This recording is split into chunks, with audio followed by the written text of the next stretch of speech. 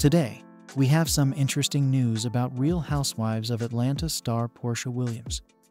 Porsha Williams is giving Simon Guobadia, her estranged husband, a warning not to destroy, conceal, or alter any financial records. Let's get into the specifics. In court documents, the star of Real Housewives of Atlanta, who will be coming back, demanded that the business owner preserve all relevant documentation, including financial records or statements, income records, tax records, expense records, and recordings or evidence of relevant conduct by either party or face penalties.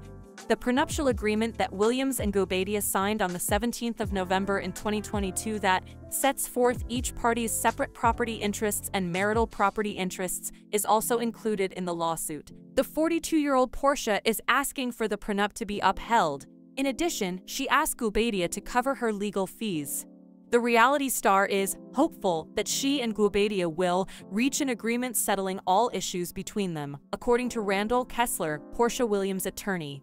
Williams and the business owner are living in a bona fide state of separation, according to court filings, and their marriage is irretrievably broken with no prospects for a reconciliation.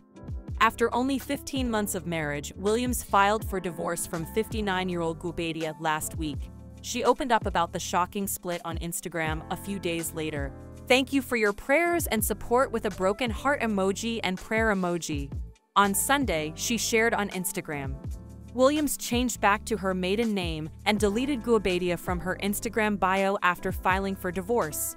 She also unveiled a brand new haircut that seems to be inspired by the divorce. Tell us your thoughts on Porsha and Guobadia's marriage. Do you think they will reconcile? Don't forget to like the video and subscribe to the channel for more updates on what's happening with your favorite stars.